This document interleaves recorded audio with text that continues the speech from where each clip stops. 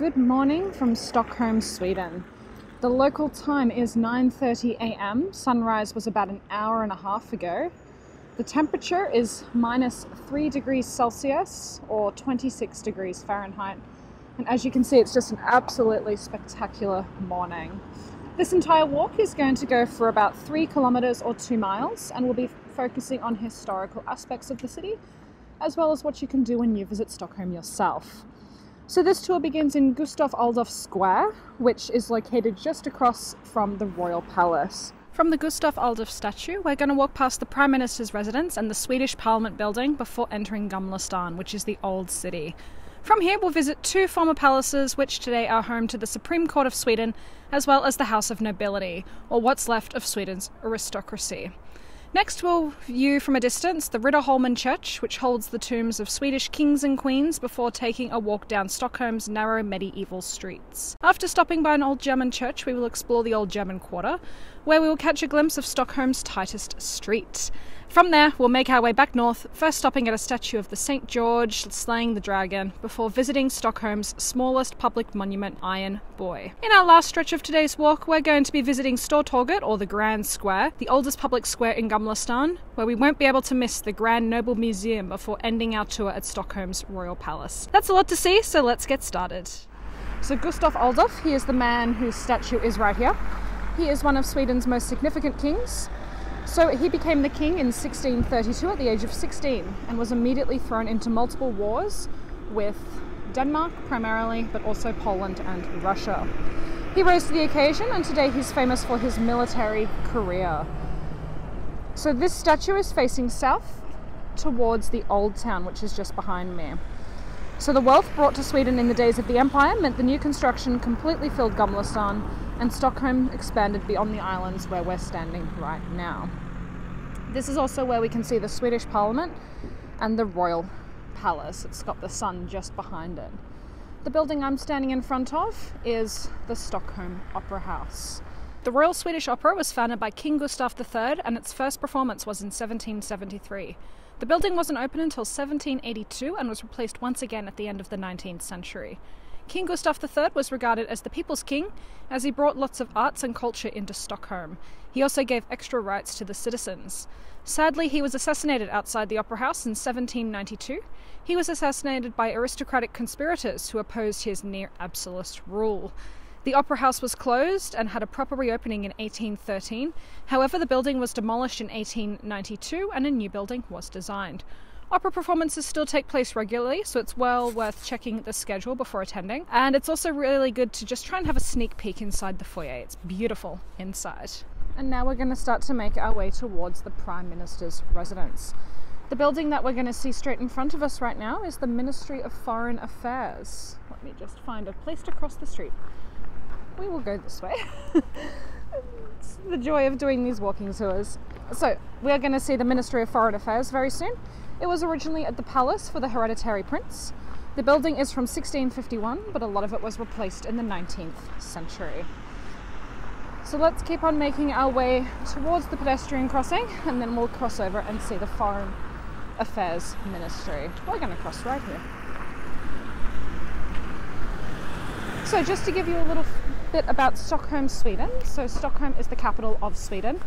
The population within the city is 975,000, whereas if you count the entire urban area, the population is about 2.5 million. That is compared to Sweden's entire population of about 10.8 million. So here is the Ministry of Foreign Affairs. And now we're crossing over and making our way towards the Prime Minister's residence. Here you'll see that Stockholm is built across 14 islands, and the lake that we see here is Lake Mälaren. Mälaren is a mixture of fresh water, fresh water and seawater that's coming in from the Baltic. You can see it also has very rapid currents. It is possible to go fishing in Lake Mälaren if you want. Uh, very popular to catch here is salmon. Salmon right from Stockholm city centre. So let's keep making our way across. Here you'll see the Swedish Parliament building. This building was built between 1895 and 1904. It's got a mixture of architectural styles, uh, in particular Corinthian style, neo Renaissance style and it has some Roman features as well. The design of the building is supposed to represent eternal power and strength. So, by using these Greek and Roman influences, that sort of shows everlasting strength of Sweden. So, let's keep walking along. So, coming up on the right hand side is going to be Sager the Prime Minister's residence. Now, the name comes from a family, a very famous family called the Sager family, who were one of the noble families here in Sweden. They owned the property until 1988, and it was the last palace in the city that was a private residence.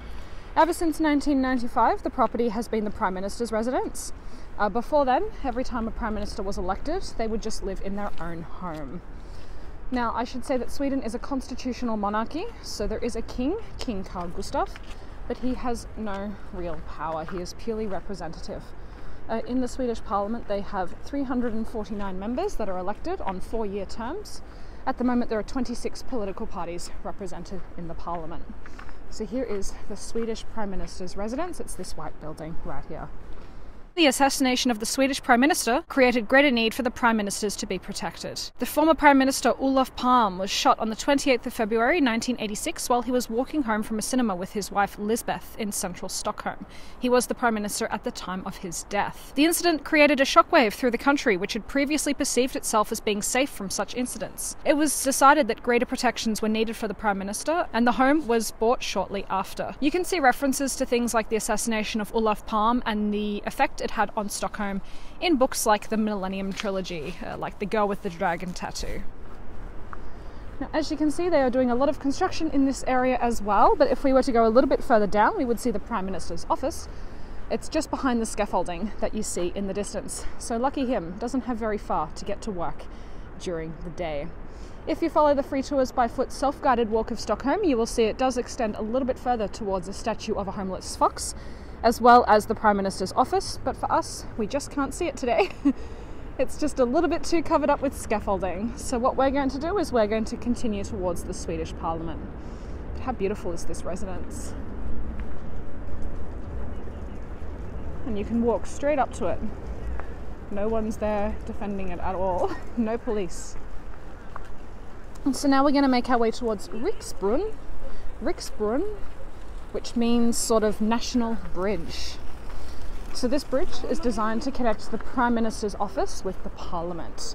It's going to be the building, uh, sorry, the bridge that's coming up on our left hand side. So, well, here you'll see we'll cross Lake Mälaren and I'll give you a lovely view across the lake. You'll see it always has a very strong stream going down. So, let's head across and take a little look.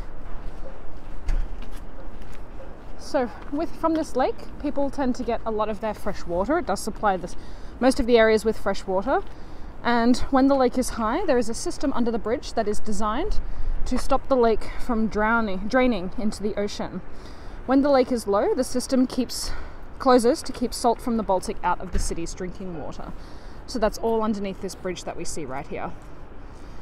The bridge off in the distance is Norrbro, North Bridge, and that is the oldest bridge uh, in Stockholm that still has its original stone arches.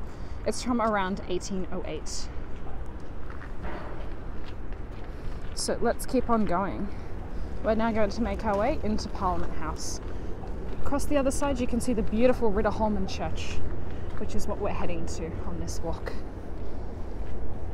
So, the huge building that we're about to start going through is the Swedish Parliament. Most of the building is neo Baroque and neoclassical, as I mentioned before. It also has Roman and Greek elements as well as some neo Renaissance elements. Let me give you a close up look of the building. So, Sweden has had a parliament ever since the early 16th century, but before the late 18th century, it only consisted of members of Sweden's nobility. A little fun fact is also about half of the parliament was made up of German merchants. When Stockholm was founded, it quickly became an important area for German trade. So it was very common to see Germans in the parliament. We'll talk more about the German settlement a little bit later. Uh, now, as I mentioned, there are 349 members and there are 26 political parties elected. The current party in government as of 2022 is the Social Democratic Party, but parties do not have a majority, they have to work together in something called a coalition. So you can visit Parliament House during the day where those guards are starting standing is the entrance for visitors. It is possible to do guided tours on the weekends. In summer, they do have guided tours every single day. Um, it is worth noting you should probably leave your bags at your hotel because they have lockers here. You can't take anything inside with you. So let's make our way through the Swedish Parliament building. The building to our right hand side is the main headquarters of the bank. The Swedish Bank, National Bank, is located in this building right here. It's a really nice modern extension at the top. So we're going to keep heading up, and now we're crossing over onto an island called Stadsholmen, which sort of means place island. Names are not as fun when you translate them into English, um, but the island that we're heading onto was where the oldest settlement of Sweden was. Excuse me, of Stockholm. This is where the oldest settlement of Stockholm was. So Stockholm was founded in 1252, and it wasn't one of the oldest cities in Sweden that actually goes to places like Sigtuna, which is a very well known Viking settlement. Uh, but it was decided to make Stockholm the capital because Sigtuna and other Viking settlements kept getting raided, and people were fed up with always being raided. So the legend goes that they put a log into the Stockholm archipelago and they watched it drift. And wherever the log would end up is where they would found the new capital of Sweden. And so the log ended up here on Stadsholmen, the oldest settlement in Stockholm. The name Stockholm, stock means log, and holm means island. So there you go. So now we're crossing onto Stadsholmen. And to our left hand side, we'll see the Royal Palace. We will be coming there a little bit later in the tour. Towards the end of the tour, we'll be passing the Royal Palace. We'll do a little circle of Stadsholmen. So there's a lot of construction taking place. They're saying they need to be renovated and modernized. And they're currently doing the members building, which is this building right here. It's kind of one of the downsides of coming here in winter. One of the upsides is is that it's much quieter. If you have been to Gamla stan before, you will notice how quiet it is. Um, but secondly, we will go around. We'll take the scenic route. Um, but secondly, the prices here are a lot cheaper. This is actually one of the cheaper times to come to Stockholm because it's a very quiet time. So hotels are often cheaper, some museums are even cheaper. But yes, you do have to deal with things like construction work, and some places do just outright close in um, winter. So we have to take a little detour. Normally, we would take a pathway around the back of the members building, but it is unfortunately closed due to renovation. We just get to start to admire the old town. Okay, let's go this way. Let's see if we can make it this way. If not, through the magic power of editing, we will cut and we will find a different path to go.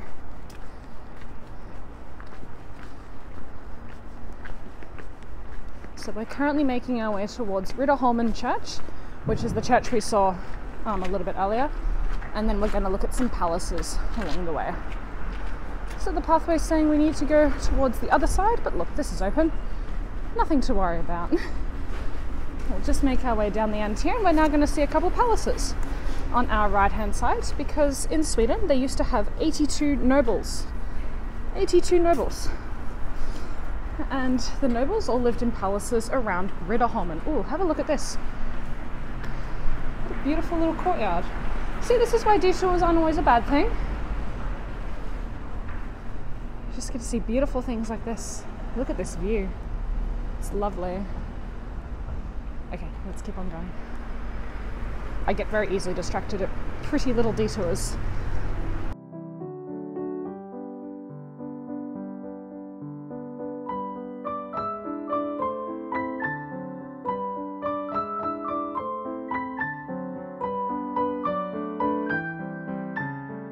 Alright, so the building that we're now standing outside of, this is Bonde Palace. Bonde Palace.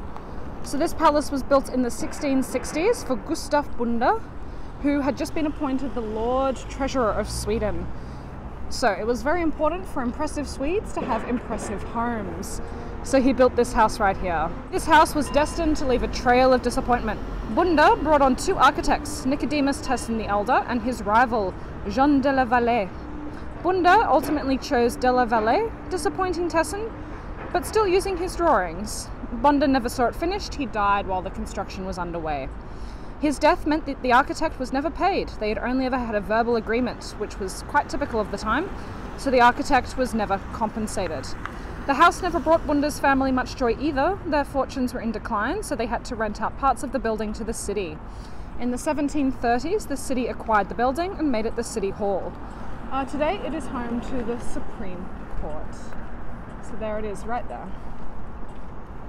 And now we'll make our way towards the second building, which, which is the House of the Nobles.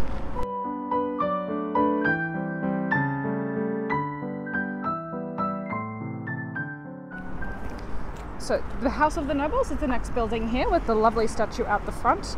So this was built in 1641 on land that had originally been a farm. So the man that you see here is Axel Oxenstierna.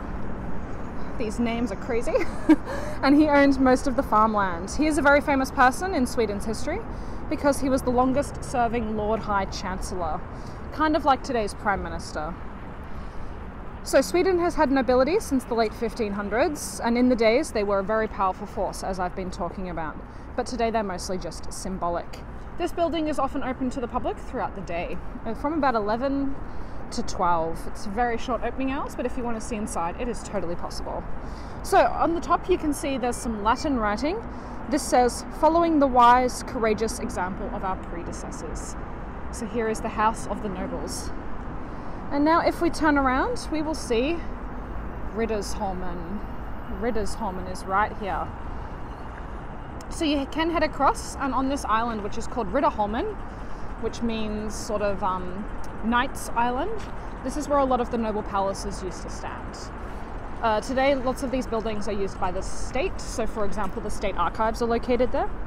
So, here we go. We will stand right here and look at Riddarholmen from here because you have to cross a really busy freeway and it's very noisy. So, this used to be owned by the Greyfriars Monastery, this island, uh, but the church is the only surviving part of the monastery.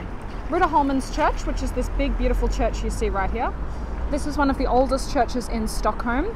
It was originally built in the 13th century, but it was rebuilt a few times.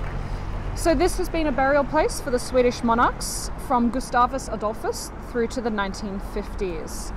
Uh, today it is only a burial site. There are no modern, um, there are no burials in there anymore. It's just a historical site. If you go inside the church, which I highly recommend, you will see all the coats of arms and emblems of the nobles and the monarchs who were buried inside this church.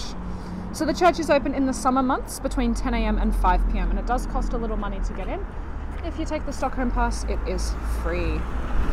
So there it is. And then if you walk to the other side of this island, you get a magnificent view of Stockholm City Hall. It's one of my favorite views.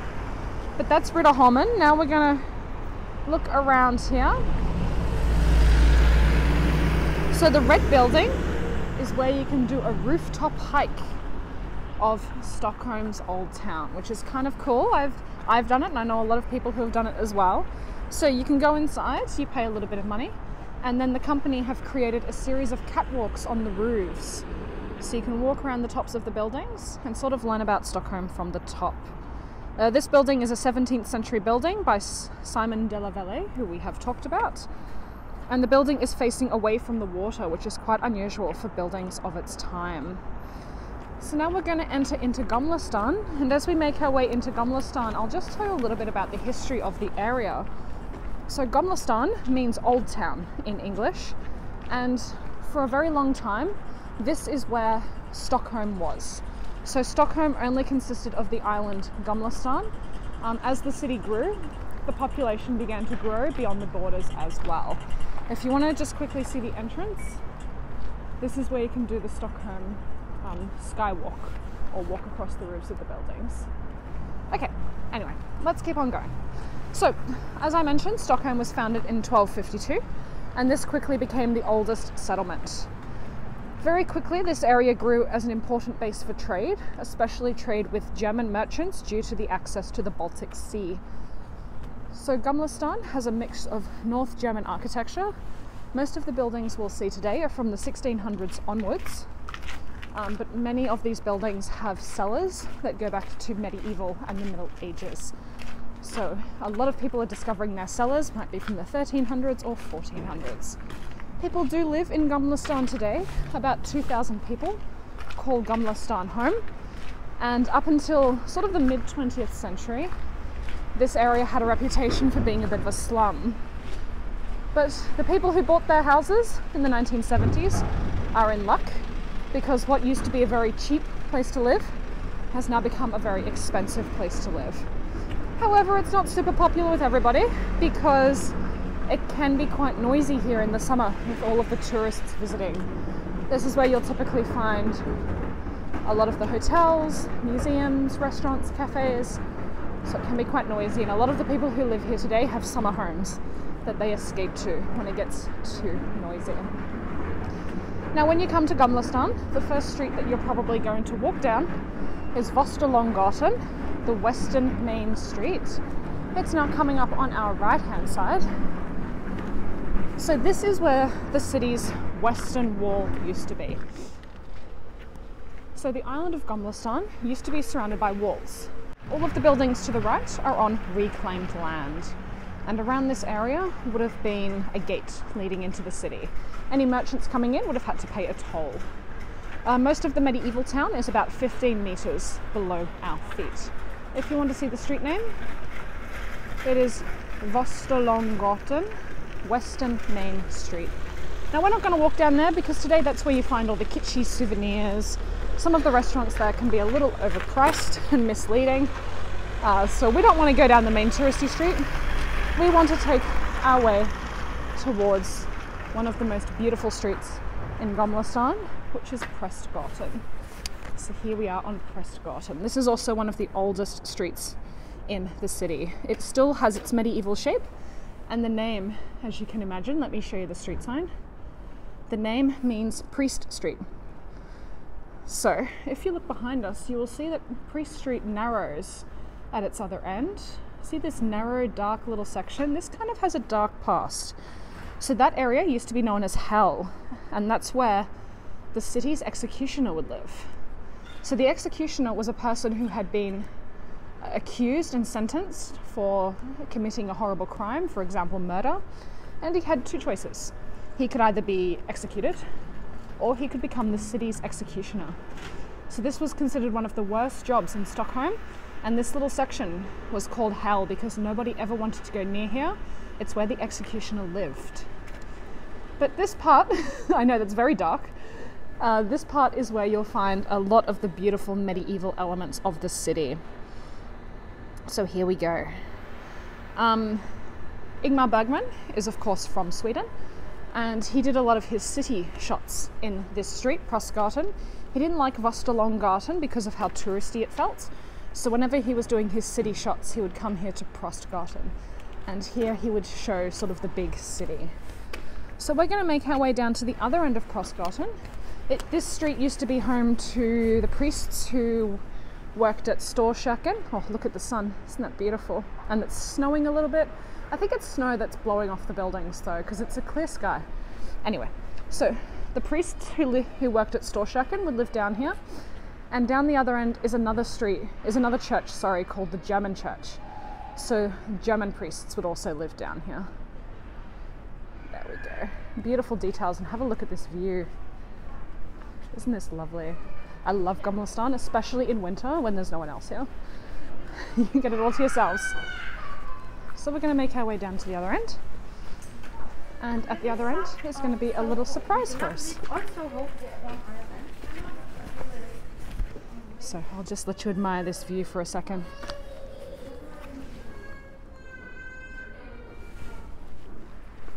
All of the beams at the top would have been where they had ropes and hooks to lift goods up into the sides of the buildings because staircases were often quite narrow. Uh, kind of like what you've seen in Amsterdam, maybe. They would lift goods in and then put them into the windows. You can see it's like snowing down the street and the sun's hitting the snow. It's perfect. So we'll keep on walking down and always pay attention to side streets. You never know what you'll find. Just beautiful elements of the old town of Stockholm. Now we're coming down towards the end.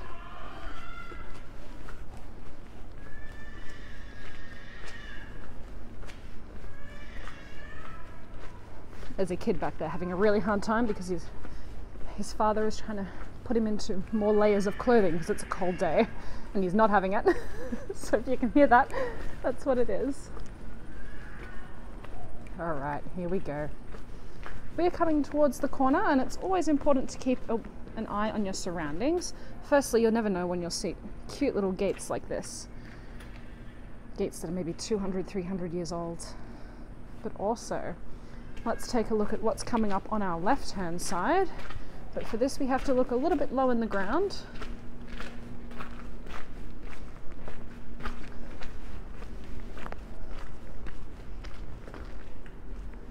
see this runestone right here. On the corner of Prästgatan and Kåkbrinken, we have a runestone. So, why? And also, you'll notice to the left is a cannon. So, when a lot of cannons were decommissioned, they used them as posts to stop horse carriage wheels bumping onto the sides of buildings. So, this is what we call a runestone, which is a memorial marker from the Viking times, the pre Christian times. So here that you'll see it has writing around it, which is the Old Norse written language.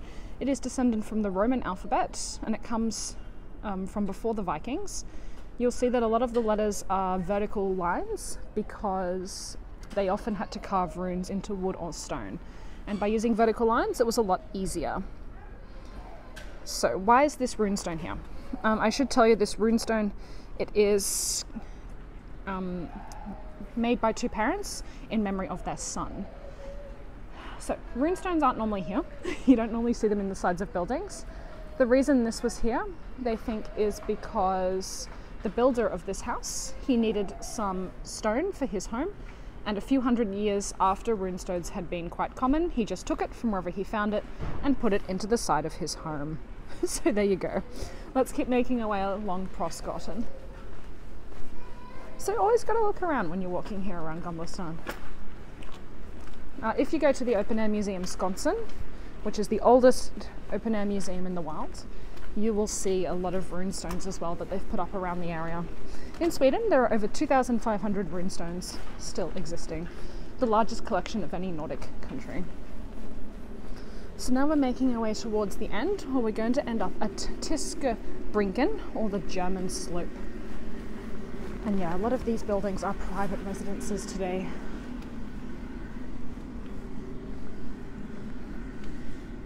It's beautiful with the snow coming down, even though it's a blue sky. I just want to reiterate the clouds in the sky are not snow clouds. Or maybe they are. I don't know where this is blowing from, but I love it. As you can see, there's not a lot of snow on the ground. There was a massive snowstorm here about three days ago, um, but a lot of people come and clear the snow they also put gravel down on the ground, and many of these streets are also heated with electric cables to prevent ice forming because it would just end in disaster for people. Now, you'll see here a lot of iron anchors. You see these ones here, and then you'll see the straight ones up on the side of the building. So these are used to hold the floorboards in. So it sort of shows you how many floors there are in the building. And the different shapes of the iron anchors corresponds with different periods in time. The straight ones are the oldest ones, they think they're from the 1400s. However, it's kind of hard to date buildings like this because we don't quite know if they are original from the 1400s or if they have been recycled a couple hundred years later. A lot of buildings would typically be torn down and then rebuilt, so it's quite common to see old elements on new buildings. It's all about recycling here in Scandinavia. Beautiful doors. And now we're coming down to Tyska Brinken, the German slope. So you might remember earlier on in this tour, I talked about how this was a German settlement. So down here we will find the German church. So the church was part of a parish set aside for the German expats in the 16th century. When Sweden became a Protestant country, it was important for different congregations and different groups of people to be able to attend church in their own language. So, because of that, it's quite common to find, for example, the Finnish church, but also the German church. The development of Gamla is in large part thanks to a group of German merchants called the Hanseatic League, or the Hansa for short. They came from North German cities such as Lubeck, Bremen, and Hamburg, and traded in over 300 places across Europe, mostly on the Baltic Sea. They were most active between the years 1200 and 1500. Uh, shortly after the establishment of Stockholm as a city, a group of German merchants settled here. The power of the Hanseatic League died out in Europe in the 16th century, but the German merchants remained in Gamla around the German church area for a couple hundred years after that. On this walk, we will see influence of their power in Stockholm.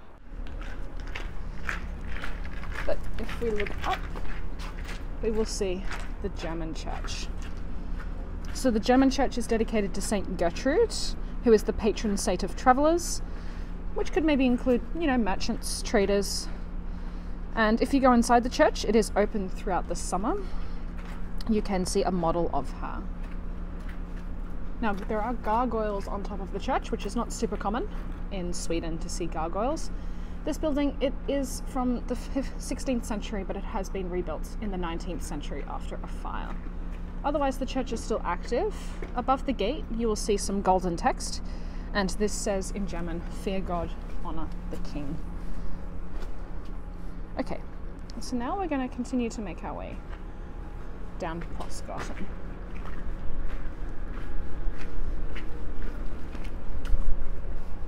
So, this is a beautiful street to keep wandering down. So now we're heading through the German quarters. So this would have been where the German merchant lives. And we're heading towards the Tyska Stallplan, which is the old German stables. Along here, we will start to see a school that's associated with one of the old churches here in Gamla stan. Um, just a word of warning do not photograph the children at the school. Um, they've had a lot of issues in recent years of the kids at the school being photographed by tourists. And in fact, one of the first phrases they learn in English is no pictures because they they get photographed all the time. So just make sure you don't do that. Here is the school. All the kids are in at the moment, I think. Now we're heading down to the old German stables. Hopefully, you can hear the church bells. It's beautiful. That's the German church. So, this is the Old German Quarter, as I've mentioned. Before the end of the playground, we are going to look for number 74. So, pay attention. So, we should see iron anchors here. Yes, this is going to be a good example of the iron anchors. It's this yellow building coming up. So, you can see these beautiful curvy iron anchors, and then on the building, some of the anchors have the date. So, it's really easy sometimes to be a tour guide because a lot of the buildings just put the date on the side. It's very handy. Okay, so here, uh, and I've mentioned this already on Prästgatan, but we'll mention it here again. So the metal rod is running through the wall and under the floor, and it's keeping the floors from sort of bowing and starting to collapse into themselves.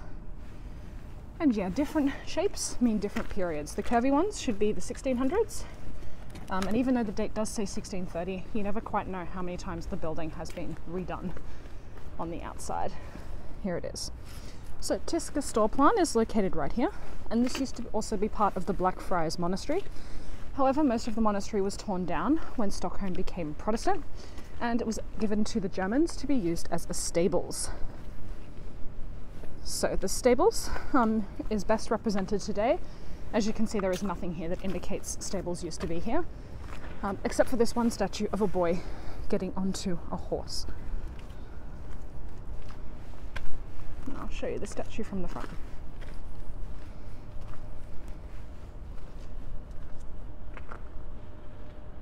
So this is the only memory of this area being used as a stables.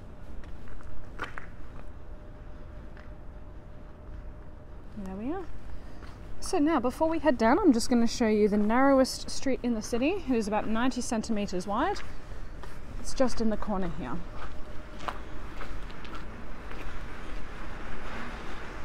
hold your breath. This is the narrowest street in Stockholm. It's called Martin Trotzigsgrund, Martin Trotzigs Walkway. It's named after a very influential German merchant who emigrated here to Sweden. He then ended up buying many of the buildings along this street, and this is one of the old alleyways between his buildings. So here it is. You can go all the way down, it is a two way street. We will not go down it today. that just gives you a nice little view. We're going to keep going towards the left. We're going to finish Prästgatan all the way to the end. Oh, before we go, I should show you just one more look at the German stables area with the German church in the background and the German quarter. Today, a school. Cool, let's go. Hope you're enjoying this walk so far. We're almost getting around towards the Royal Palace. It's coming up very soon, don't you worry. I know you're all holding out for it, even though Gamla stan is absolutely beautiful. We've got old coats of arms of different families and merchants who would have lived here. This is just a way of showing who's in this building.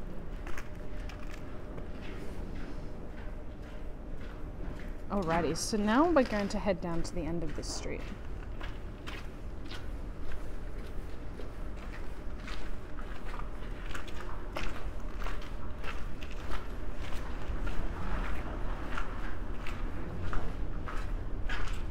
I'm just a little bit because it's very icy. And cobblestone and ice are not the best of friends, so we just have to watch where we're going just a little bit.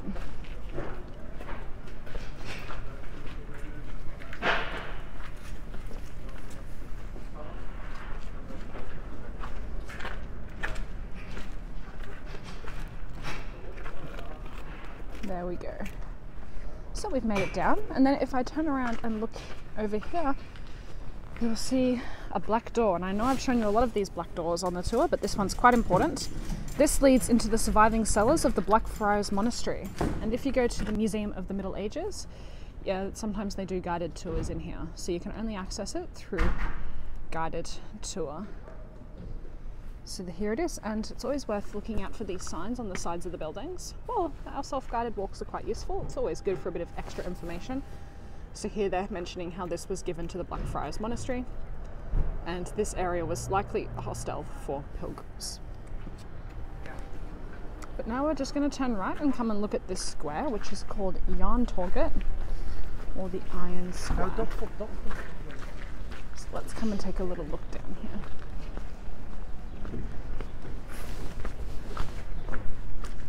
So Järntorget means Iron Square. This is the second oldest square in Stockholm, and this may shock you, but this is where the iron was traded. Again, translating names here is so helpful as a tour guide. So this was a square where they would trade iron, and Sweden's always been known as a big exporter of iron goods. Um, you'll see in the middle there's a big pile of Christmas trees, and that's because all the locals here who've had a Christmas tree, they can leave it here, and then a truck will come and collect it all. So there you go. Now, let me just turn around.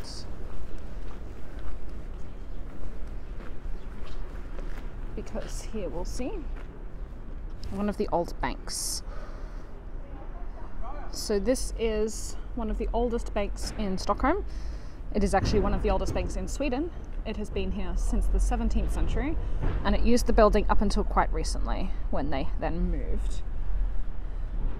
Um, now it is not an active building. So now we're going to walk along these buildings and we're on a street now called Österlånggatan. So we began on Västerlånggatan, the western main street, and now we're on Österlånggatan. Österlånggatan is the eastern main street. So this is where the city's eastern wall would have been, and all of the buildings that are on the right hand side are built on pillars about six meters into reclaimed land. So let's follow the eastern main street. But first, I just want to point out this building here on the right. This is Den Gyldene Freden, the Golden Peace, and this is the second oldest restaurant in the world that has never changed appearance. It opened in 1722 and it hasn't changed since then. um, it's now owned by the Swedish Nobel Academy, who have their luncheons here every Thursday. Otherwise, it is also open as a regular restaurant to us. Very beautiful restaurant. Here it is, Den Gyldene Freden. Unchanged since 1722. I think the menu has changed a little bit and the cooking materials. So let's head up. We're making our way up along the eastern wall. Now, we often get asked, where are the walls today? Well, they don't actually know the walls are here. The walls haven't been found. They just think, looking at old pictures, that the walls, and of course the street names, that the walls would have been in this area. Um, all the medieval cellars are, of course, part of people's private homes today, so it's very difficult to see them uh, for people who are visiting Stockholm. We're turning onto Svartmangatan, which means Black Man Street, and this street again refers to the Blackfriars Monastery that used to be here. So let's keep on heading down. This street down here, Baggensgatan, this would have been the red light district. This is the red light district. Not today. But of course, you can imagine this was a sailor's city, this was a merchant city. So there was this activity happening down here. Also, down here is the apartment where two members of ABBA uh, got their start, where they first lived together. They just lived in an apartment down there. So it's the birthplace of ABBA, in a way. Let's keep on heading down. We all know ABBA. It's so interesting explaining that street. It has two very different sides of history. So we're now leading our way into a public square. And the word kloster means monastery. So you see references to the monastery everywhere you walk in Stockholm. So here we have the Jewish Museum. So this is the third um, in its location since it was founded in 1987, the first third building the Jewish Museum has been in. So in 1795, part of the building was home to the Jewish community. It had a synagogue, a school, residences for the rabbi, and it was a source of kosher food. So the law in Sweden until 1838 regarded Jewish residents of Sweden as their own separate nation. So in a way, this was kind of the Jewish capital. In the 1870s, the congregation moved out of the building and became a police station. Uh, they got to move back in in the 1980s. So inside the building, there are over 800 items, including the original pulpit, and they're trying to uncover all the original paintings where the synagogue used to be.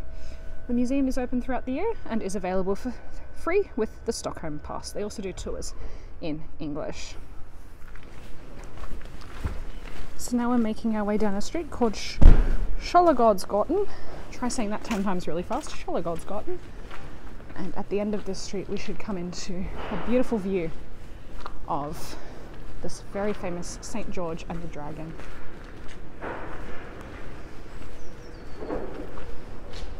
So let's keep on heading our way down.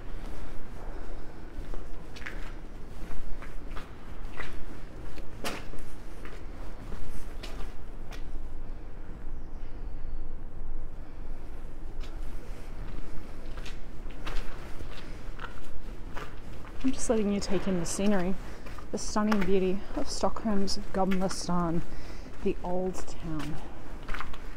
Beautiful residential area, some very cold pigeons down here. oh, it's so beautiful with the snow. The snow's falling so slowly. Let me stand here for a second. It's beautiful.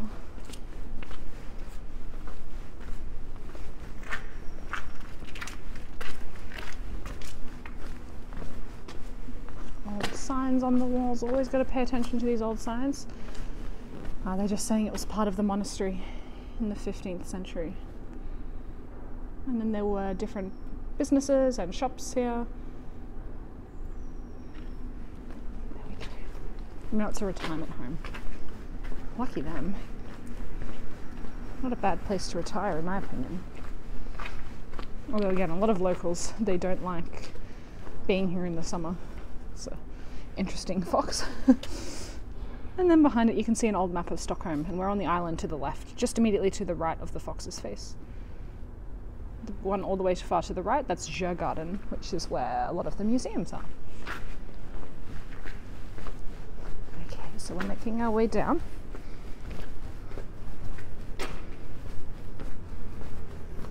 This is a very pretty little square. Let me show you the restaurant that I'm just walking past.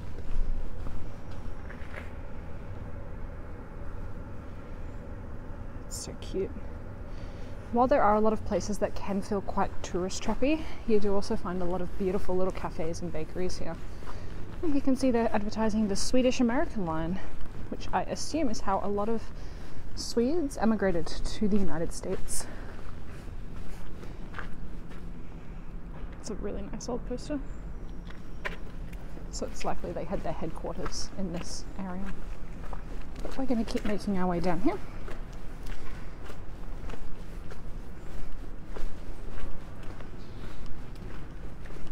We're turning onto Köpmangatan, which means the merchant street, really making it obvious what the past here used to be. Beautiful old building up here.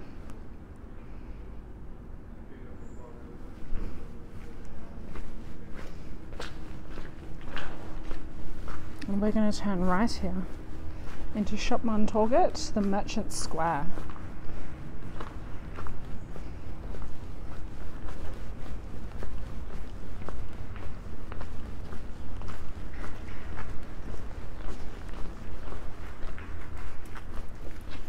Can see the, pardon me, now we can see the really famous statue of St. George and the Dragon. So this depicts St. George slaying a dragon, and this is a bronze copy of the original, which is in Storkyrkan, the old uh, church near the royal palace. So the original statue was created by Bernt Notke in 1489 to commemorate a military victory by Sweden against Denmark. The monument portrays that battle as a moral fight against evil, um, in the original legend, of course, St. George killed a dragon that was demanding tribute in the form of sacrificial children, and he did so just in time to save a princess. Pardon me. In this tradition, you can see her off to the side, she's just there on the right.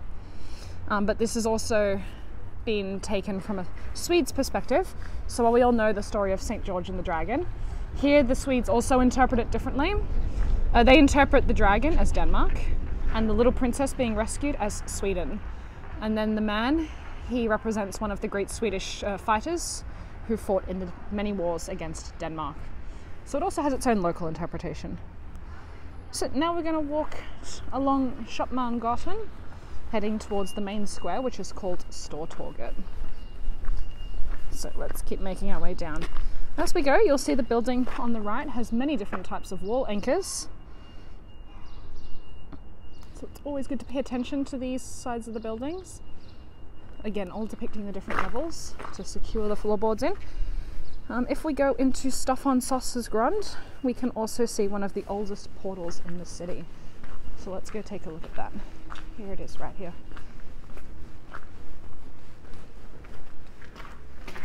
It's okay to go into places like this, you just got to be a little bit wary that people do live here as well. And people work here and they don't want loud tourists coming by all day.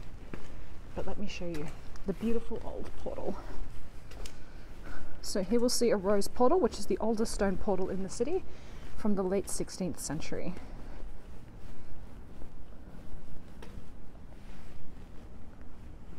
There you go.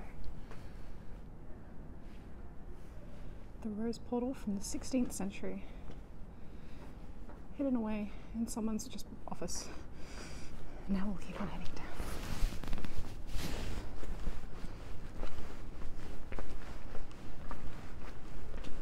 Another beautiful detail above this building as well. Okay, let's keep on walking.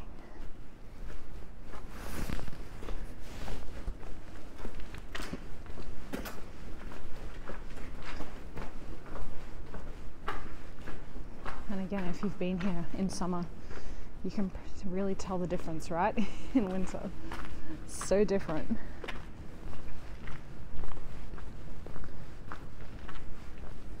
So we're just going to make our way along. We're looking for a street off to the side here. We're going to take the side streets to the main square. We don't take the main way. Here we go, Skeppar Olofs Grund. Here it is.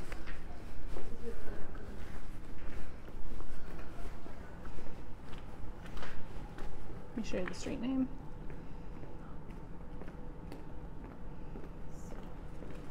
Okay, let's go. Beautiful. Would you live in this area? Sometimes I think I would live in this area, but then after hearing about what it's like in summer, maybe I don't want to live in this area. I just think it's so charming. I would love to have an office in this area. I think that would be nice. Would you mind the noise, the tourists? Maybe you'd find it part of the charm. So now we're coming into Trollgod's Garden. I'll show you the street sign. So this is called Garden Street, and this is where the Royal Gardens used to be located. But now what we're going to see is the back of the Finnish church, or Finska kyrkan, which has the small walled area to the right. We can also see the back of the church here. The building used to be a big ball game hall, uh, but today it is all used as the church. And I did mention them very briefly at the beginning, but much like the Germans, the Finns pay, played a significant role in the beginning of Stockholm. Here's the church.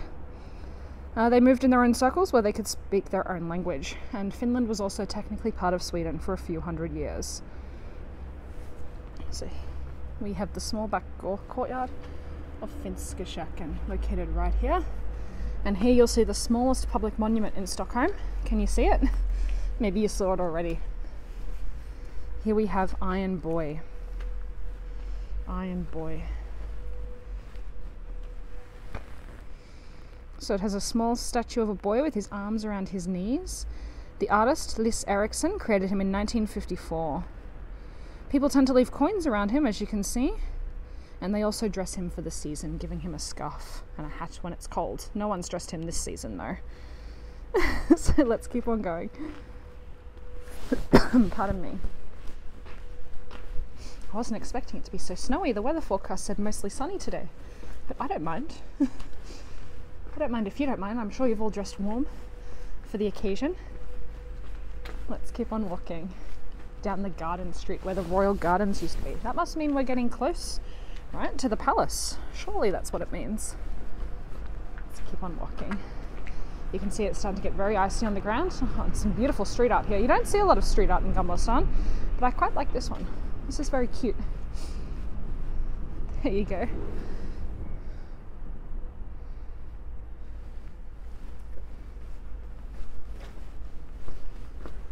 Let's keep on heading down the street.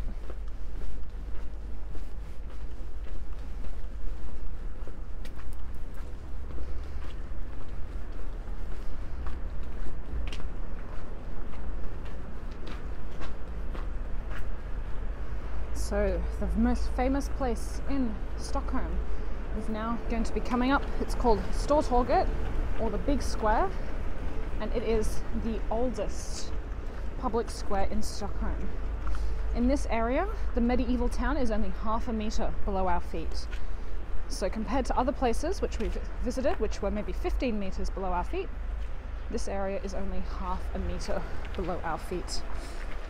So, this in summer is often one of the most crowded places in the whole city, but today it's nice and quiet. We get it just for us. So, let's talk about a few buildings here. You can see the garbage truck has come just for us. There's a police car here as well, there's a FedEx car. Always something happening here. So, let's talk firstly about the Stock Exchange building. It was built in 1773, and the same architect designed the fountain in the middle that I'm going to show you in a second. Today, this is home to the Swedish Nobel Academy, and it's also the Nobel Museum. So, it's where you can learn about all the Nobel Prize winners inside this building. So if I pan around to the right, we will see this lovely grey building. This building is as it was in the 17th century, and today it has a uh, cafe and bakery. You can go inside. The bakery is owned by the Stockholm City Mission, which gives support to people who have fallen on hard times and need a little bit of assistance. So they own the grey building. And then they also have this adjacent building with a little um, bakery inside you can see just there.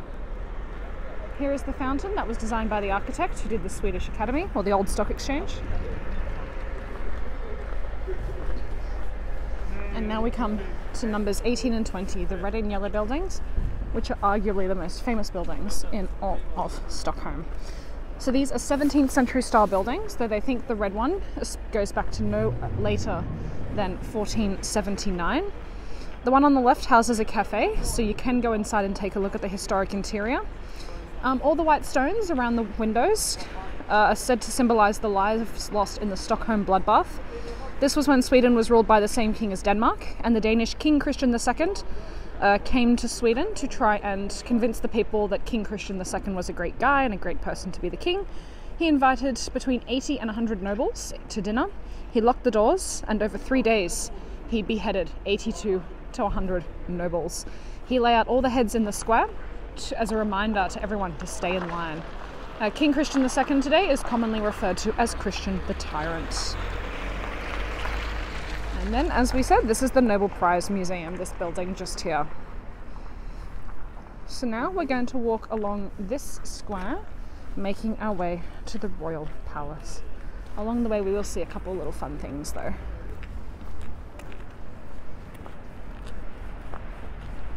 The Nobel Museum, there it is once again.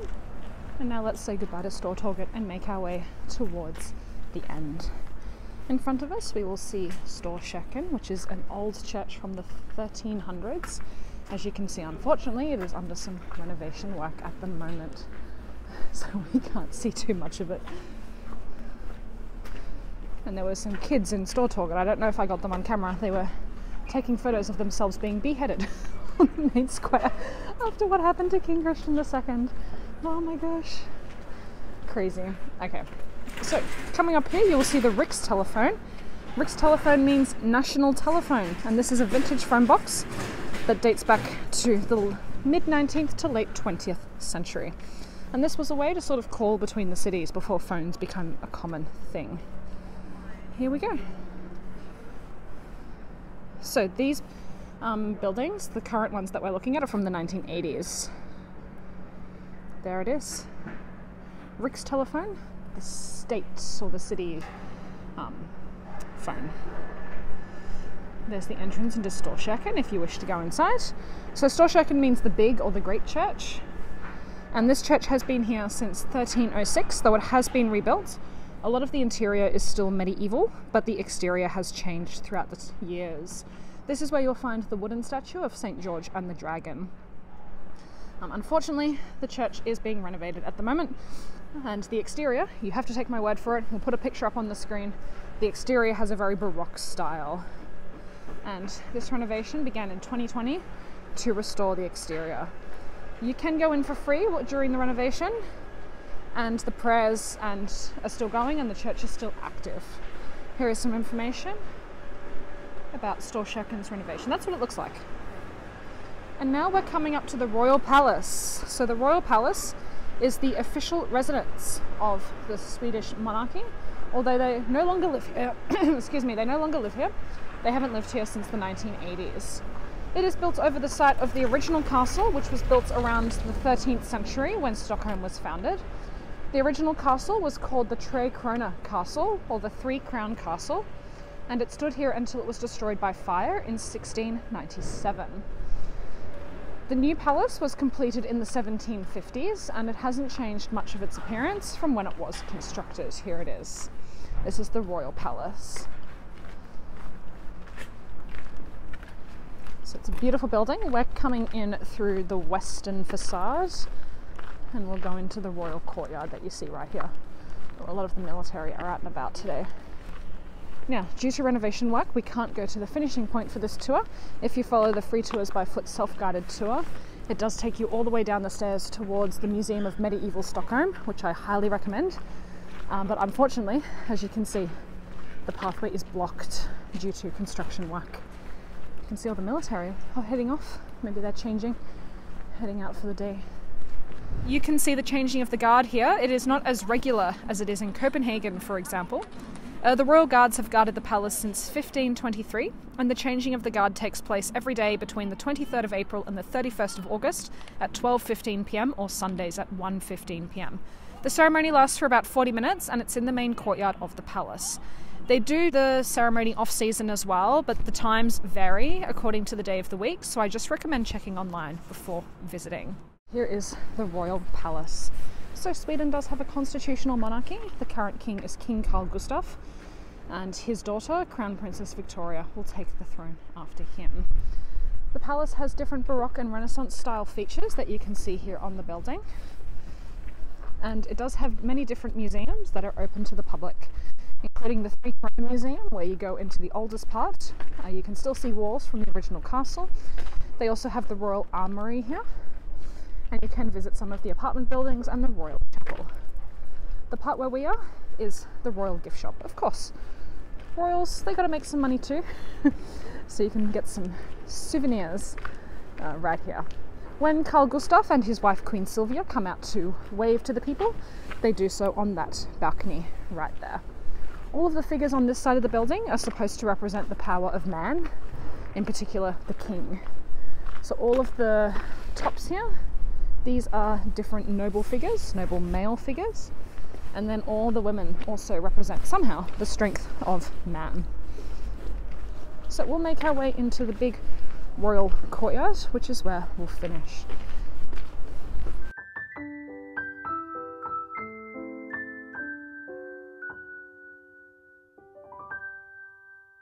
This obelisk was put up here to commemorate a victories that Sweden had over a war with Russia.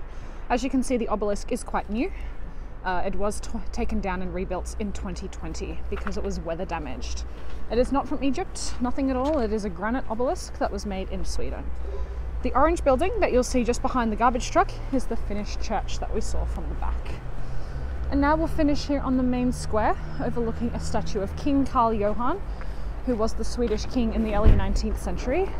He was originally a French admiral called Jean Baptiste Bernadotte, um, but the king in Sweden had no heir. This was during the Napoleonic Wars, so Jean Baptiste was offered the chance to become the king of Sweden, provided he helps Sweden to victory. Jean Baptiste said, I'll do it, but only if you give me Norway as a prize. So Sweden went to victory, and Norway became part of Sweden, which lasted from 1814 until 1905. He eventually became the King of Sweden and changed his name to King Carl Johan. And here you can see the Royal Palace. So, this is where we'll end the self guided walking tour of historic Stockholm and especially Gamla I hope you enjoyed this tour and maybe you'll get to visit someday soon. And as you can see, it's a beautiful walkable city, no matter the time of year, no matter the weather. Thank you so much for coming. My name is Emma Vesterheim. You can follow me via the links in the description. My company website is thehiddennorth.com. If you want a walking tour of Bergen, Norway, you can find me at ilovebergen.net. You can also buy me a coffee or leave me a tip via PayPal via the links in the descriptions. If you want to follow me on Facebook or Instagram, my handle is Emma in the North. All one word, Emma in the North. I have a Facebook group where I provide travel tips for all of the Nordics, and on Instagram, I give you a little insight into what it's like to be a tour leader through all of the Nordic countries. Thank you so much for watching. Maybe I'll see you here in Stockholm one day.